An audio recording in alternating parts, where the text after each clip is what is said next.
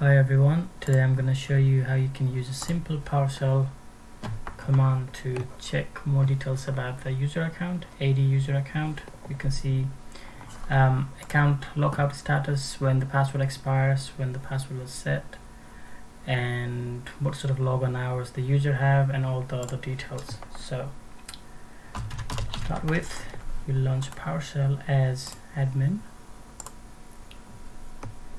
we type in net space user space the username.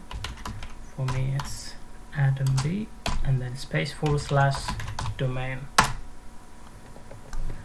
Here now you can see um, the username full name uh, whether the account is active whether the account is locked or not locked and when the password is set when it's going to expire and what sort of um, group um, the user is added and you can also see the login hours here we can see the account is account is locked so we can just simply use um, unlock AD account command to unlock this account. So we can see unlock hyphen AD account um, hyphen identity uh, tab here to autocomplete and then username.